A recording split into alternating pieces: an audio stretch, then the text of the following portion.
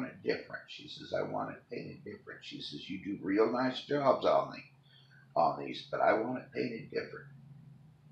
Okay, but she never told me what color until I had this thing on the engine stand ready to paint.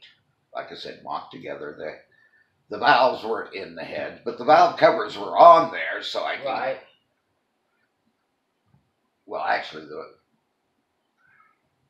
there was an old set of uh, valve adjusting uh, covers I had out there that I taped the openings open.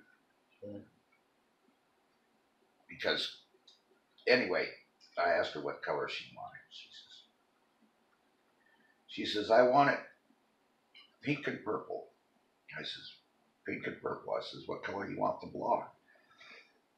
She says, I want that purple. She says, I want all the accessories pink. Just just like you do with the black on the. okay. Now the only thing that I did is I kept, I kept the uh, aluminum intake manifold. Okay. My false aluminum intake manifold that I got hell over there when I tried to get that thing smog because it had an aluminum intake manifold and wasn't acceptable.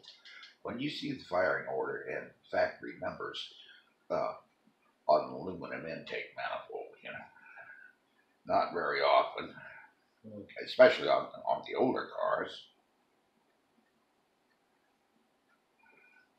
I just painted those, painted that silver put a clear coat of clear over the top of it so the silver wouldn't soak up the uh, dirt and stuff. Call over there before he leaves and see what. But you saw pictures of it. Yeah. I used to, I had pictures of it. Remember? I, I